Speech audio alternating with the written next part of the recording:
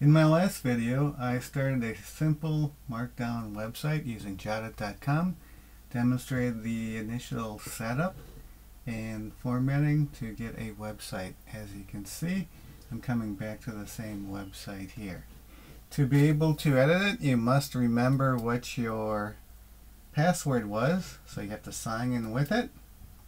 I'm going to sign in, and now I have I can edit the website I created from before. To edit any page, you simply just enter edit. And we're going to do that now. So uh, put your name in here. My name's Robert. And welcome to my website. Okay, this is all going to be in capitals because uh, it's under, got one uh, it's large letters and capitals because it's got one sharp symbol in front. And as it says, it shows this. Okay, so what we want to be able to do is I'm going to enter a photo. I thought we'd see how to do a photo. Again, you can do a photo like I showed in the previous one. You can link to any photo anywhere on the internet. However, Jottit itself does not host photos. I thought I would just do a simple demo of doing a photo with uh, using uh, uh, Google Photos. That works pretty good. So if you have a photo you've already created with a camera, um, just to minimize the download, I would probably suggest what you do is um, uh, try to reduce it with some program like Photo Filter. Uh, again, for editing photos, editing photos offline, I would suggest using, I'll put some suggestions here. Um, my favorite is called Photo Filter. And you go to photofilter.com. And if you go there, you'll be able to see it. It's a pretty good website. I can bring it up here. Photo, sorry, photofiltre.com. And it'll come up. Oh, I guess I misspelled it. It's not going to like that. Filtre. So it's written by someone in France, and so the reason it has photo filtre is because that's the French spelling. So as you can see, it comes up. We go to the English site, if you speak English, and there's several versions. Uh, the Studio X is the latest one, and that one you're supposed to pay for. Uh, Photo Filter 7 and Photo Filter 6 works pretty good. Uh, the basic one, Photo Filter 6, actually has all the requirements we need. We're not going to do layering. That would be fairly complex. So feel free to download Photo Filter 6. Uh, it's free, obviously, as it says there. So anyway, what you can do is you can use photo filter to actually reduce the size of your photo because most digital cameras will create photos of about 5 megabytes and that's way too large to for download purposes. Uh, you can also use uh, Google Photos actually to host your photos. Once they're hosted on Google Photos, you can actually take your photos and then uh, they actually can be hosted and you can actually find it on a website. So I'm going to take this nice sunset I have from Goa, India. I'll click on it. And what I like to do is use this on my website. Now, if you're going to have your photo hosted in Google Photos, what you want to do is, there's several things you can do. First of all, you can edit it if you like. So I'm going to hit edit. And when I edit it, you can try to enhance things by adjusting the things. What that usually works pretty good is auto. Edit original, okay. And it changes the colors. If you don't like what it did, you can just go back to the original too. Actually, I think I like the original the best. Um, there's other different filters you can use. If you want to adjust the lighting, you can change that here. It changes the brightness change the color, have things pop out more. Uh, you can actually click on here and adjust the size of the photo. I can bring this down, for example. Maybe bring the beach scene up. You can adjust the actually the angle of it. So this really works good with things with horizons because you can put the horizon flat so the photo seems like it works better. You just simply hit done and then you're back to it.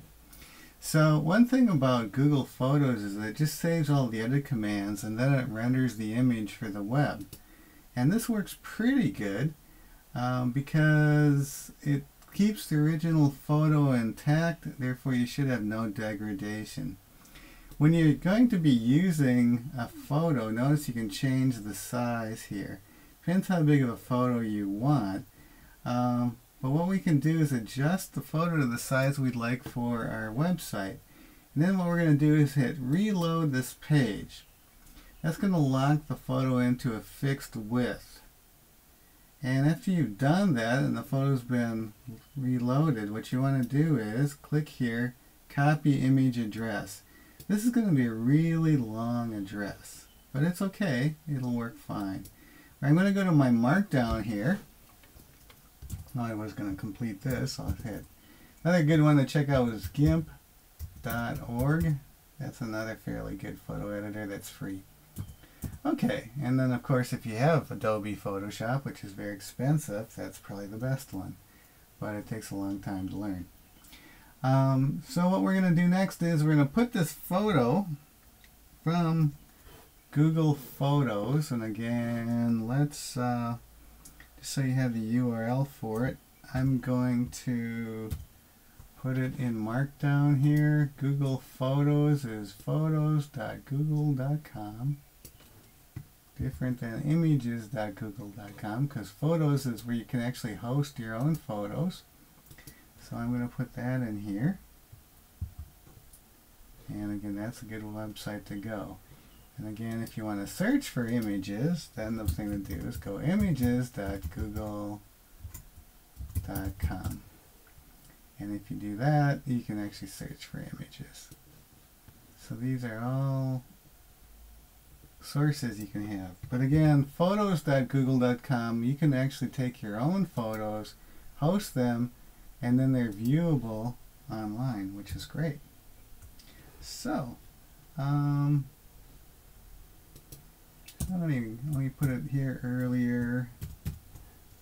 You can search on images.google.com to try to find some. Okay, so now we're again, we're at photos.google.com.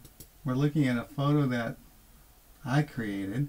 I've adjusted the size. I reloaded the page. I can do it one more time. Everything looks good. And what I can do now is after it's loaded, I can do a right click and says copy image address.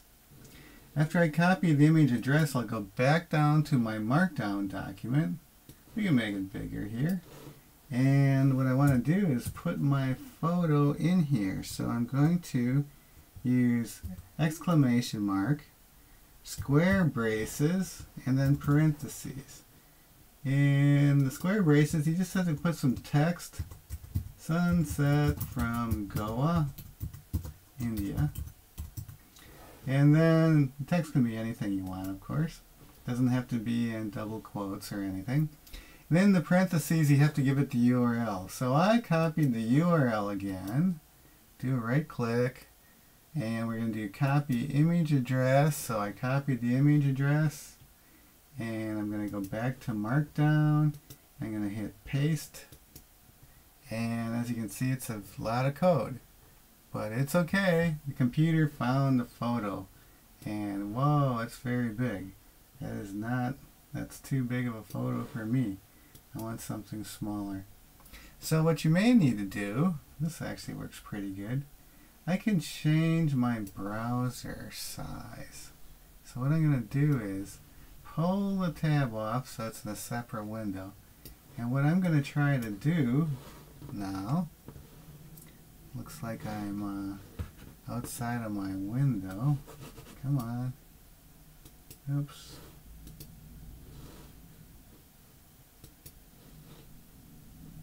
You have to adjust the window width. Looks like I have to go back to the original one. Okay, I have to go back. I'm going to go back to Google Photos. It didn't quite work here. Looks like I have to drop it back in. Okay, now you can see it. So what I'm going to do is reduce this down quite a bit. And again, I'm just going to reload. So hopefully Google will sync into the new width. And what I can now do is do, actually let's try going back here. Here's my photo. And so what I want to do is just grab it, copy link address. Let's see if this works. And I'm going to go back here and I just want to copy and paste the new URL code and hopefully it didn't happen. Too bad. Okay, let's try it one more time. I'm going to go back to my photo. Here's my photo here. I want to try to reduce the photo down in size. I'll hit reload. And again, I'm going to try to do a right click, copy image. And I'm going to go back to my URL here and it should be a nice long string of text. And I think this looks good. Yeah, the photo is not so large now, so that seemed to work. So again, in Google Photos where you display the photo, you've got to change the browser window the size you would like the photo captured at, and then copy it. Okay, and that looks pretty good.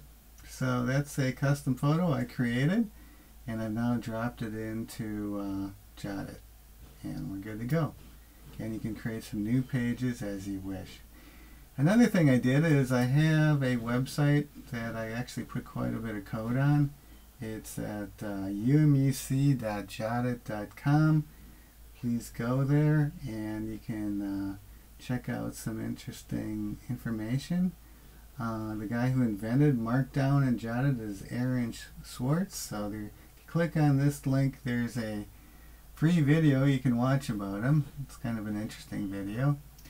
I did also work through several pages here. I took a recent trip to Ehime, so if you click on this link, you will actually be able to see some pages I developed based on the trips. So as you can see, it's pretty easy to put photos in. I posted all these photos on Google, on photos.google.com using their editor and so forth. So it's pretty easy to work with your own photos.